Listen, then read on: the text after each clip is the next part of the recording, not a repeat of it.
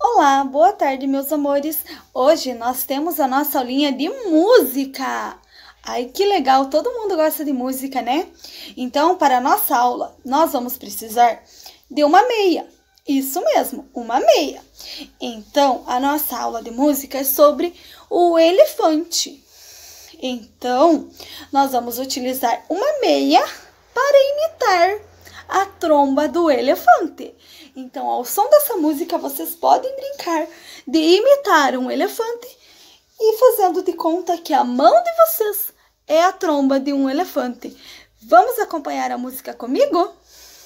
Gigante, pesado, tem um nariz que mais parece um chafariz.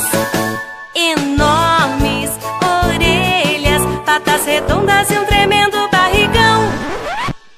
Mas quando ele vê um rato, o elefante corre pro mato, com medo, assustado e gritando assim: Socorro, socorro, tem um monstro querendo me pegar.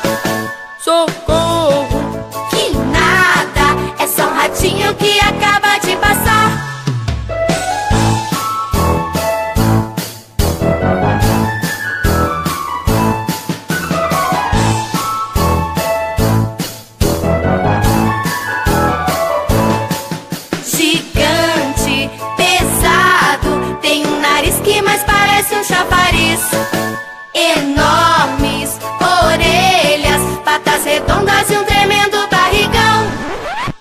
Mas quando ele vê um rato, o elefante corre pro mato, com medo assustado e gritando.